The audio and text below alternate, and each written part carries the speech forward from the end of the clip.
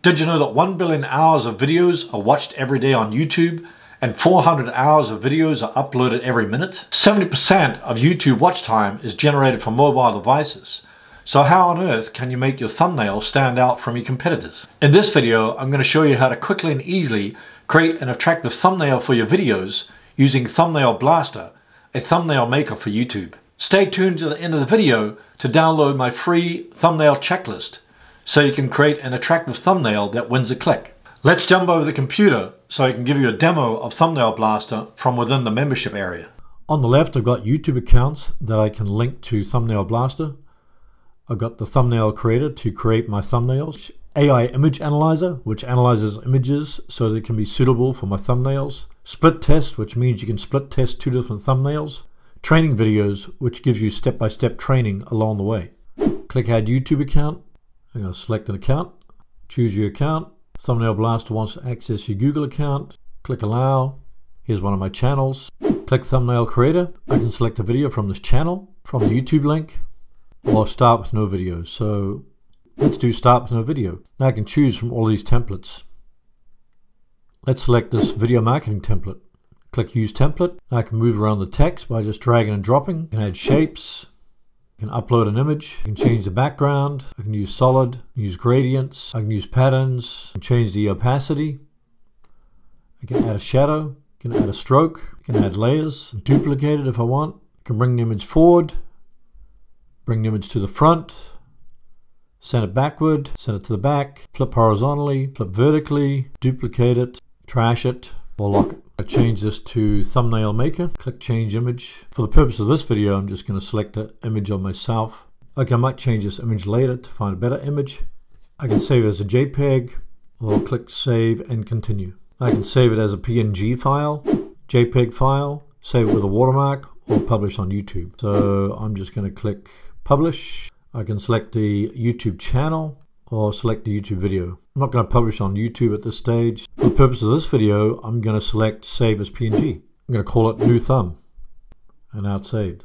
If you want to get your own copy of Thumbnail Blaster, click the link in the description below this video. AI Image Analyzer. The Artificial Intelligence Image Analyzer will analyze any image to see if it's suitable for your thumbnail. I click on AI Image Analyzer. I can select an image link or YouTube video or upload local image.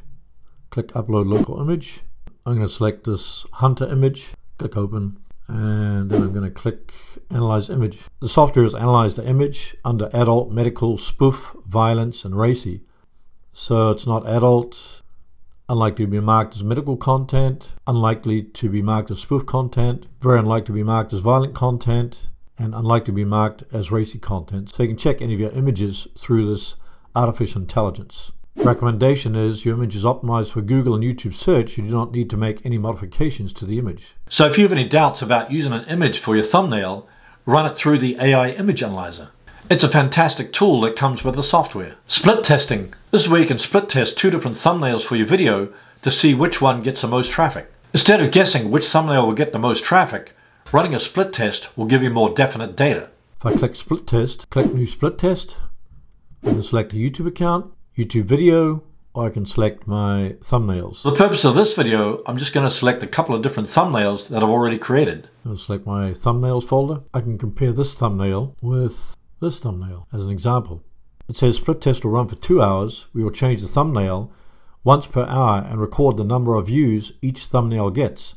At the end, we will pick the winning thumbnail, the thumbnail that gets the most views. So I can select 12 hours, split test run for one day and two hours or I can go right to the end, split test will run for 10 days. Just click add split test. If you ever get stuck creating a thumbnail while using the software, these training videos will take you through it step by step. If I click training videos, got full training video, select a YouTube video, loading templates, using the editor, saving and publishing, split testing, AI image analysis. So this is a great tool if you want to quickly and easily create an attractive thumbnail for your videos, even if you don't have any design skills.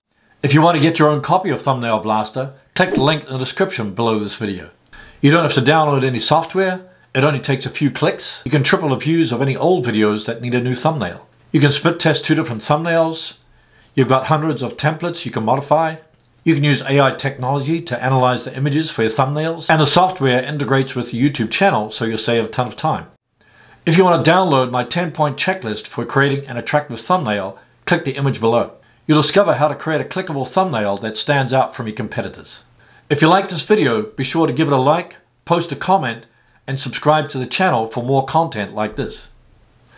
Thanks for watching and we'll see you in the next video.